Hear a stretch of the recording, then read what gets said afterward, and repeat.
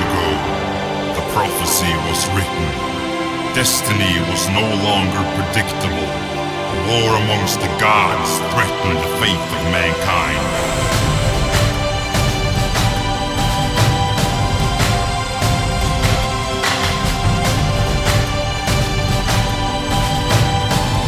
Only a few men are still standing strong.